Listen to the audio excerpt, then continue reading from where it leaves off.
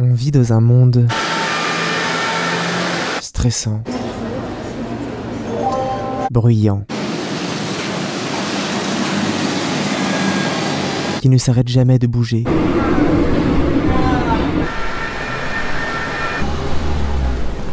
D'être connecté.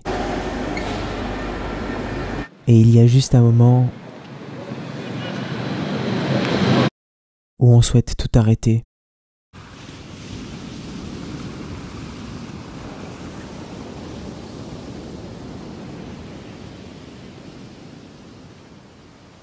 Tout est submergé, j'aime me poser un instant, fermer les yeux, imaginer être ailleurs dans un endroit isolé de la vie agitée que l'on peut connaître. Que le lieu soit fictif ou réel, peu importe. Et évidemment, c'est mieux s'il est les deux à la fois. J'aime imaginer être ici, là où s'il y avait un point central de l'univers, j'en serais le plus éloigné.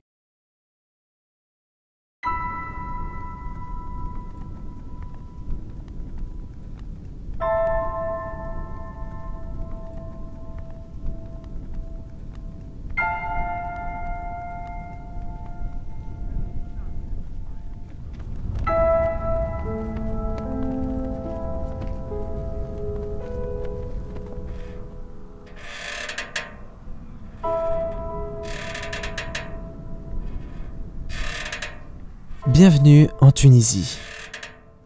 Le pays que George Lucas a choisi pour créer Tatooine, sans doute la planète la plus connue de sa saga. No more adventures. I'm not going that way. Elle est présente dans 5 épisodes sur les 6 écrits par le réalisateur. Elle est le parfait mélange entre l'imaginaire débordant de Lucas et la culture si particulière de la Tunisie. Dans ce pays où l'horizon s'étend parfois à perte de vue, le temps semble s'être arrêté. En tout cas, il n'est pas un enjeu, il n'est pas source d'inquiétude. Et il suffit de contempler ce grand soleil loin se lever, de sentir le sable contre sa peau, d'écouter le silence absolu des régions désertiques pour comprendre à quel point nos sociétés occidentales nous aveuglent, ou en tout cas nous empêchent de saisir ce qui est important, l'art de cerner le moment présent.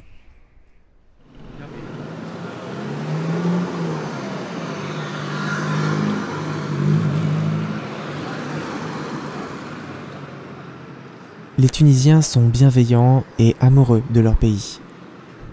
Elle, c'est Dalel.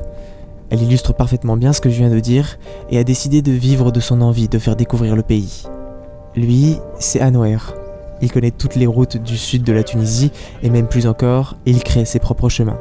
Tous deux nous ont accompagnés pendant quelques jours pour revenir sur les traces d'un tournage étendu sur plus de 20 ans, mais aussi et surtout pour nous faire découvrir la beauté de la région, de Tozer à Tataouine. Car oui, ce serait réducteur de penser que la Tunisie se limite au paysage que je m'apprête à vous montrer.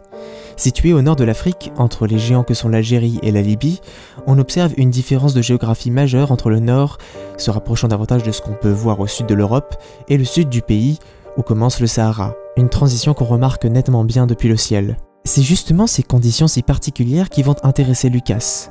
Comment créer une planète désertique sans se retrouver complètement dans le désert? Cette question, on va la retrouver souvent. La première des réponses, c'est de tourner ici, dans la région centrale du pays déjà considérée par les Tunisiens comme étant le sud. On y retrouve évidemment la ville que tout fan de Star Wars connaît, Tataouine, qui est certes le nom de la ville, mais également du gouvernorat le plus au sud, la région si vous préférez. Le nom de la planète de Luc vient directement de cette ville, plus précisément de l'expression française partir à Tataouine, qui signifie partir à l'autre bout du monde. Cette expression provient du bagne tunisien, à côté de la ville, où étaient envoyés les militaires accusés d'insubordination. Il était connu pour ses terribles conditions de détention et sert aujourd'hui de caserne militaire. C'est un Français qui a parlé de l'expression à Lucas, qu'il a beaucoup apprécié et l'a convaincu d'utiliser ce nom pour sa planète. Du français, on en trouve beaucoup en Tunisie. L'influence de l'empire colonial se fait encore sentir, que ce soit de la langue, puisque le français est la première langue étrangère apprise à l'école avant même l'anglais, ou encore de la culture. Dans les villes, le français apparaît souvent, et on trouve partout du pain, ce qui est assez étrange puisque trouver des baguettes dans le Sahara relève de l'antithèse. Évidemment, les Tunisiens cuisent également leur propre pain appelé tabouna ou djirja, parfois à même le sable pour respecter la tradition. Lucas a utilisé toute la variété d'environnements qu'offre la Tunisie. Du désert de sable à celui de pierre en passant par les montagnes rocheuses, tout se trouve dans la région et relativement proche. On peut commencer ici, dans le canyon de Sidi Boulel, où deux scènes en particulier sont tournées. Je cherche la première en parcourant le canyon, j'ai une image en tête, celle de la capture d'R2D2 par les Jawa.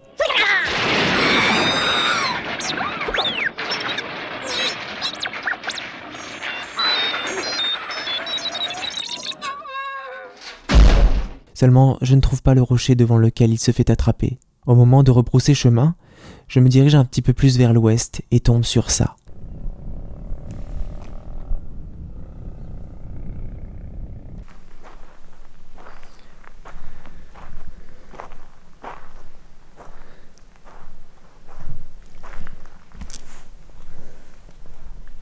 Le rocher devant lequel il s'est arrêté n'a pas bougé. C'est étrange de voir celui en vrai, Placé au début de l'épisode 4, l'image d'R2 se faisant électrocuter est l'une des premières que j'ai vues de la saga. Sa lenteur de la descente, ses éclairs virevoltant autour de lui, son petit redressement et sa chute forment un instant profond de nostalgie, le sentiment de découvrir un vaste univers aux côtés d'un compagnon drôle et attachant. Quand R2 se fait attraper, c'est tout le public qui est capturé. D'un coup, je me retrouve ici, 48 ans après le tournage, pourtant rien n'a changé. La deuxième scène tournée dans le canyon est la rencontre avec Obi-Wan, tournée juste un peu plus loin dans le canyon. Ce qui est fascinant, c'est de voir qu'un même lieu est utilisé pour deux décors censés être bien éloignés. Pourtant, quand on y pense, tout semble être logique. Dans un nouvel espoir, R2 est chargé d'apporter un message à Obi-Wan Kenobi sur Tatooine. Il se sépare donc de ses trois PO pour rejoindre les montagnes où résiderait peut-être le maître Jedi. Seulement, c'est ici qu'il se fait capturer avant d'être vendu à l'oncle de Luke. A real bargain. Uncle Owen, Yeah? what about that one? What about that blue one? We'll take that one. I'm quite sure you'll be very pleased with that one, sir. He really is in first class condition. I've worked with him before. Dans la nuit, R2 fuit, bien décidé à accomplir sa mission. You know, that little droid's gonna cause me a lot of trouble. Oh, he excels at that, sir. Lorsqu'il se fait attraper par Luke, c'est bien dans des régions rocheuses qu'il se retrouve et qu'Obi-Wan apparaît. Et si on regarde la carte, on peut se dire que R2 faisait bonne route.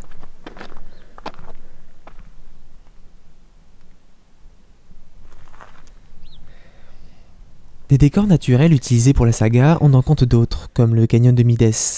Il semblerait qu'il ait été utilisé pour la course de modules de l'épisode 1. En revanche, impossible de trouver la moindre comparaison avec le film, qui semble davantage avoir été créé avec des maquettes. Je préfère imaginer qu'il a inspiré Lucas et ses équipes décoratrices pour les diverses crevasses présentes tout le long du circuit. L'autre type de décor utilisé en Tunisie sont les lieux historiques, à commencer par l'Exour.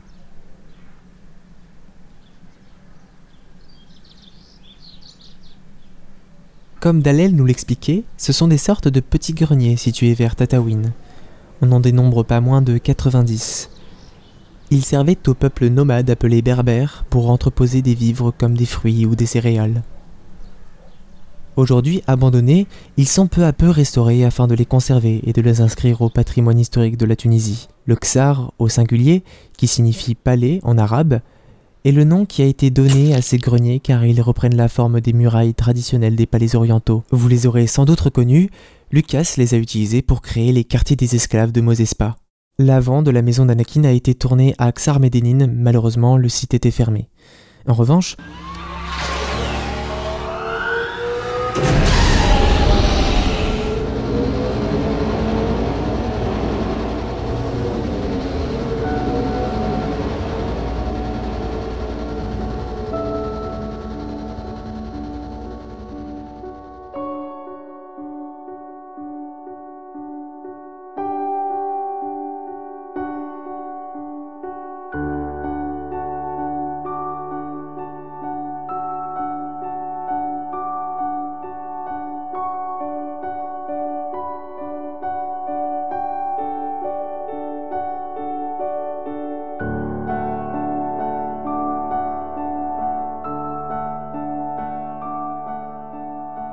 L'atelier où Anakin construit son module est situé à Ksar Hadada et est aujourd'hui devenu un hôtel. J'ai pu justement échanger rapidement avec son propriétaire, Adel. Ici, je, je l'ai pris, ça fait presque 16 mois.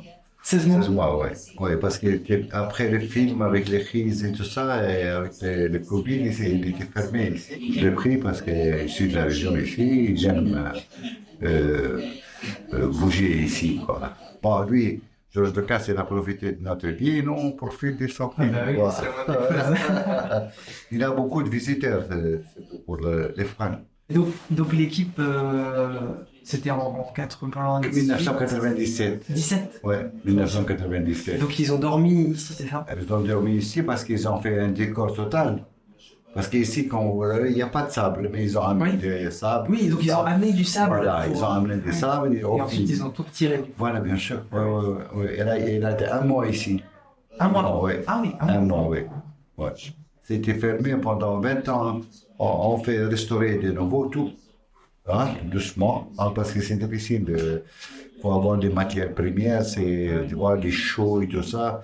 C'est difficile, surtout les, les, les, les, connaisseurs de métier, c'est- ce sont des vieux. C'est pas les gens qui, avec les ciments et tout ça, ça avec des chaux, avec des matières euh, anciennes.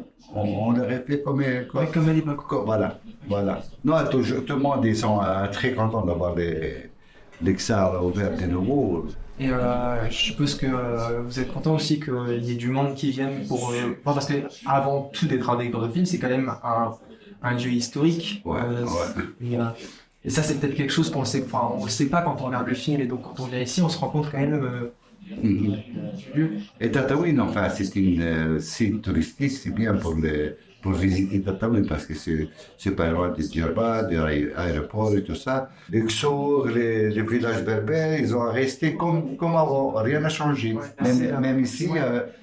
Euh, on travaille avec l'État, avec le ministère de Culture pour pas euh, changer de- la de- ouais, voilà. Et il y en a des gens qui vivront euh, encore dans le- leur troglodyte et, et comme avant, pas de problème. Sauf que un peu de confort, d'électricité, tout ça. Et il y a des, des bleus, tout ça, mais ils vivent comme avant. Même structure, même concept, ils n'ont rien changé, ils n'ont rien touché. D'ailleurs, c'est interdit de toucher. Hein.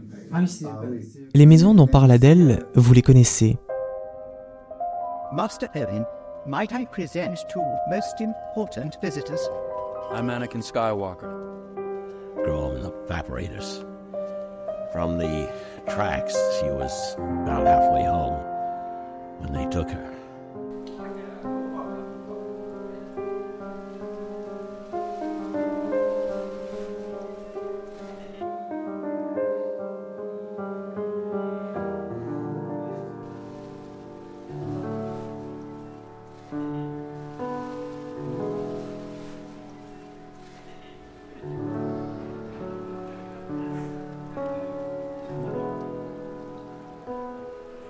Maisons troglodytiques sont des habitations construites à même la pierre.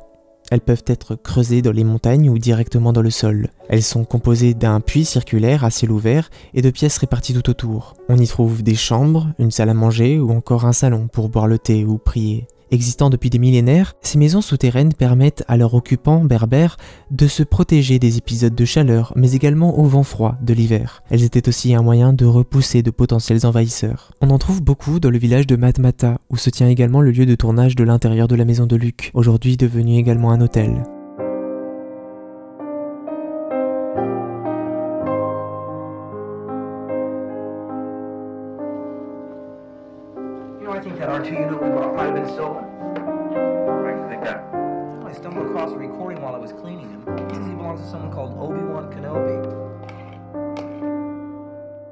C'est en visitant le lieu qu'on comprend tous les artifices qu'ont utilisé l'équipe du film. En effet, l'extérieur de la maison, avec notamment les couchers des soleils, n'est pas du tout filmé à Matmata, mais à l'opposé de la Tunisie. Et on aura l'occasion d'y revenir.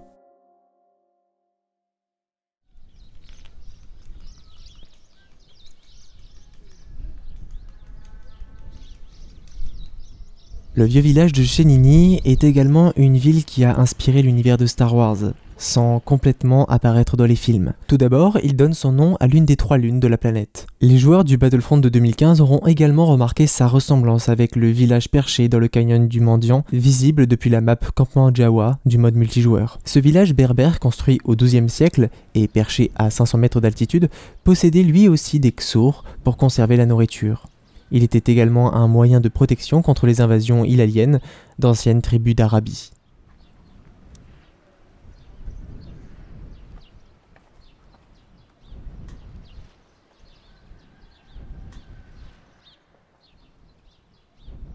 Ces lieux en Tunisie sont devenus de véritables attractions. Comme nous l'expliquait Dalel, la Tunisie vit principalement de l'agriculture, notamment des oliviers, des dattes et des agrumes qu'on peut une nouvelle fois bien observer depuis le ciel, mais également du tourisme. Ces lieux sont donc pour le pays très importants, et comme me disait Adèle, beaucoup de visiteurs ne viennent ici que une ou deux nuits pour visiter des lieux de tournage. Dans un sens, cela est un peu dommage. On passe en quelque sorte à côté de ce que le pays a à nous offrir pour nous contenter de retrouver notre culture occidentale. Pourtant, la saga est directement inspirée des traditions tunisiennes, à commencer par les vêtements. La robe Jedi est dérivée des manteaux tunisiens pour se protéger du vent et du sable. On retrouve la kashabia, une sorte de manteau de laine fermé avec une capuche, ou encore le barnous, une cape ouverte. Les deux sont fusionnés pour obtenir la robe bien connue des gardiens de la paix. Au début de la saga, Obi-Wan en porte une extrêmement similaire à ce qu'on peut trouver en Tunisie, tant au niveau du textile, assez rugueux, que de la capuche en pointe. Vers la fin, le tissu est davantage lisse, plus lourd avec des formes rondes. Aujourd'hui, en Tunisie, ce vêtement n'est plus beaucoup porté par la jeune population et est surtout réservé pour les fêtes. Son prix a augmenté et est devenu un véritable savoir-faire culturel. Les instruments du cantina band par exemple sont la fusion parfaite entre ceux tunisiens et occidentaux. On retrouve ce qui ressemble au mésoued tunisien, une sorte de cornemuse, ainsi qu'une forme de hautbois et de basson, qui pourtant font le son d'une clarinette. Le désert tunisien semble gigantesque. Les routes sont extrêmement longues et il peut y avoir aucune habitation pendant plusieurs kilomètres, en témoigne la densité du pays, répartie essentiellement au nord et à l'est. Par endroits, on peut tomber sur une oasis. Au milieu de rien, un filet d'eau accompagné de quelques palmiers traverse le sable fin et la roche. Pour irriguer et préserver ces petits paradis, certains stratagèmes sont mis en place, comme cette construction qui récupère l'eau du sol.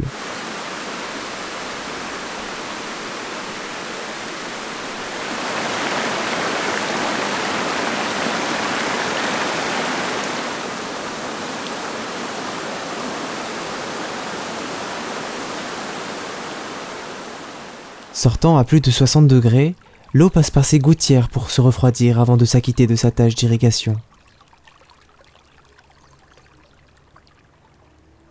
Au milieu du désert, les traces de vie humaine sont parfois rares, et oh mon Dieu que ça fait du bien. La nuit, le ciel n'a jamais été aussi clair, et c'est la première fois que j'observe de mes propres yeux la Voie lactée, comme s'il avait fallu que j'aille dans le berceau de l'œuvre qui a formé ma passion pour l'astronomie pour qu'enfin je puisse en profiter pleinement. Voici les quelques photos que j'ai pu faire. On peut observer sur le bord de la Voie lactée la constellation d'Orion, faisant face à celle du taureau. Ici, dans la corne de l'animal, se situe Aldébaran, une géante rouge qui ridiculise notre pauvre soleil. Le petit point ici, ce n'est pas un bug, c'est bien la Terre.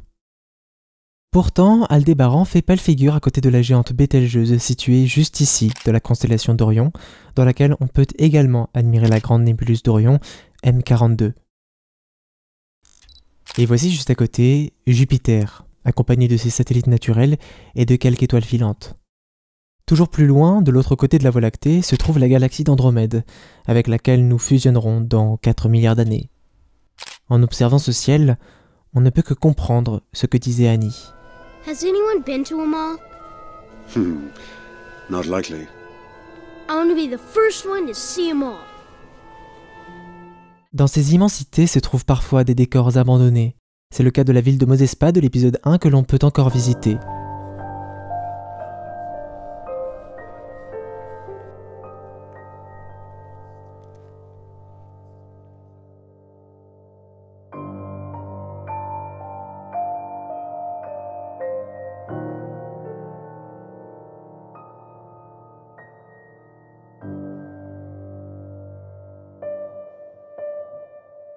N'est que ville fantôme.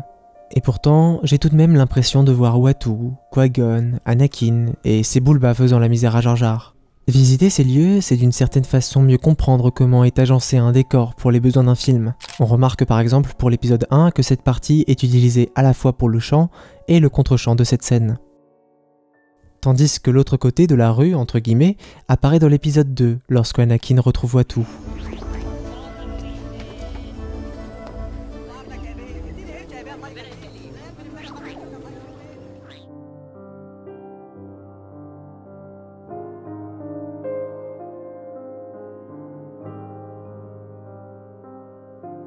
Toute la ville est factice. Le décor a été fait à partir de terre et d'argile sur un filet métallique. Quand on entre dans les maisons, il n'y a que des planches de bois et parfois même pas de toit. Tout est fait pour que depuis l'extérieur on imagine la vie de cette ville. De plus, il ne s'agit que des maisons visibles au premier plan, les autres étant ajoutées en post-production. Il faut rappeler que l'épisode 1 possède la première scène de l'histoire du cinéma tournée en numérique, celle des midi-chloriens, tandis que l'épisode 2 est l'un des tout premiers films tournés intégralement en numérique derrière le vidoc de Pitoff. On utilise donc beaucoup de techniques numériques pour créer les décors de Mosespa. Pour autant, même si tout n'est qu'illusion, le rêve reste présent. Pouvoir toucher et observer cette matière, si caractéristique des maisons de Tatooine, procure une émotion indescriptible pour tout fan de Star Wars. Pouvoir toucher ce qui jusqu'ici relevait d'images irréelles, gravées dans nos mémoires. Le fait que le décor soit abandonné est l'équilibre parfait pour pénétrer dans l'univers sans perdre sa magie. Il y a vraiment pas de bruit.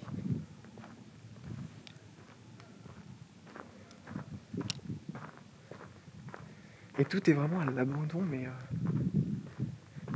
on sent que les choses s'effritent. Là, il y a du bois, par exemple.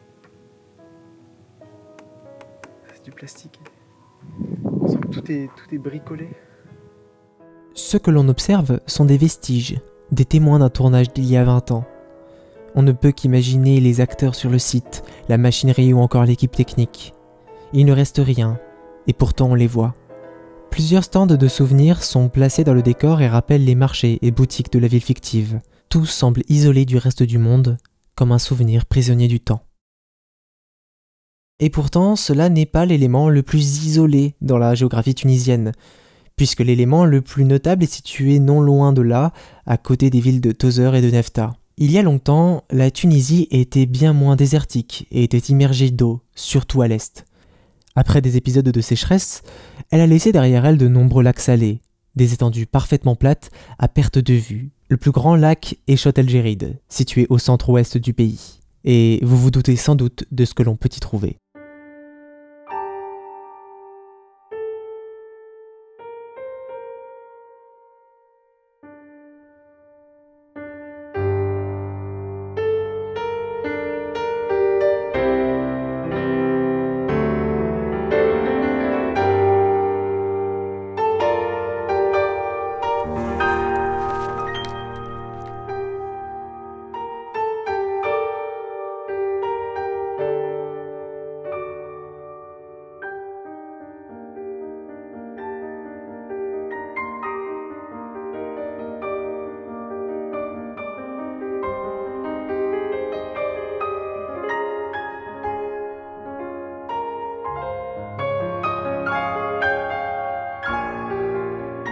Un lieu que je rêvais depuis toujours de rencontrer.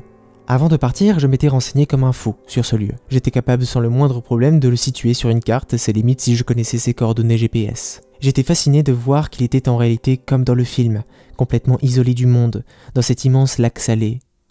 Je vous mets la taille de Paris en comparaison. Ce qu'on voit au loin, c'est une ligne, un horizon à perte de vue. Certes, il n'y a qu'un soleil, mais c'est le même soleil. À l'horizon, il est légèrement aplati par l'atmosphère. Plus il est bas dans le ciel, et plus il est rouge. Être ici, au milieu de ce silence, est une pure leçon de relativisme.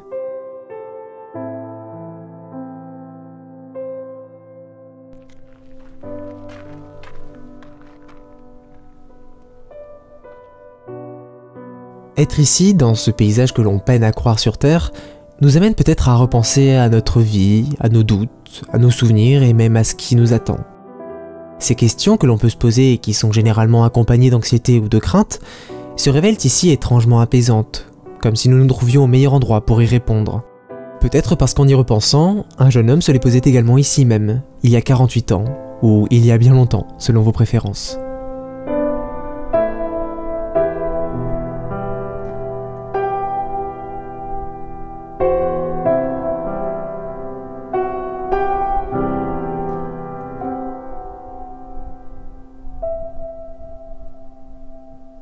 L'intérieur, on retrouve la même technique de construction qu'à Mosespa, à différence près qu'ici chaque visiteur a laissé une trace, une petite citation, un petit autographe. Un petit geste qui nous unit tous, fans et cinéphiles du monde entier. Nous ne nous sommes pas vus, mais nous nous sommes rencontrés. Alors moi aussi, je laisse ma trace.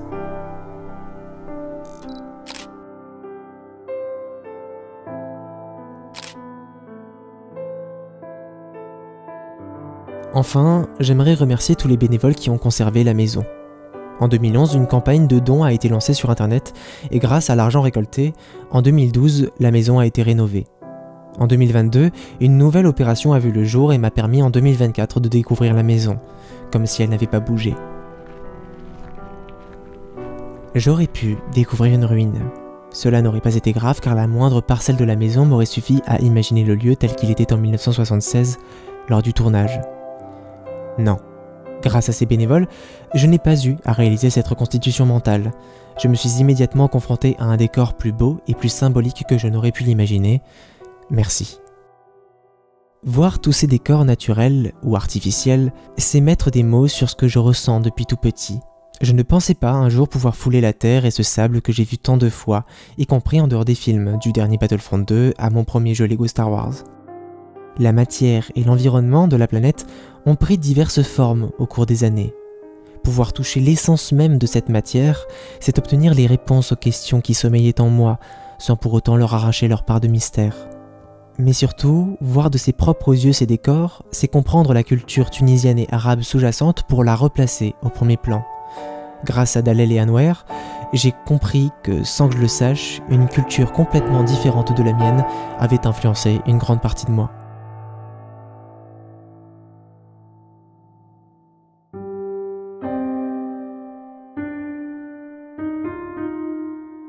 Parfois, on a tendance à penser que le plus beau des mondes est inaccessible, trop éloigné de la Terre, oubliant qu'il pourrait se trouver juste à côté. Le paradoxe que nous révèle Lucas de son œuvre est que la beauté de toutes ces planètes séparées par plusieurs sauts hyperspatiaux peut être réunie en un seul endroit, que la pluralité des cultures d'une galaxie entière n'est que le reflet de celle présente sur Terre. Aimer Star Wars est avant tout aimer l'humain et son monde. Respecter et utiliser ces cultures, c'est nourrir un imaginaire débordant et nous rappeler notre propre condition humaine et notre histoire, y compris dans ces heures les plus sombres, ce qu'a toujours sous-entendu la première phrase de chaque film pour adopter un caractère universel. On pourrait dire, il n'y a pas si longtemps, juste sous nos yeux.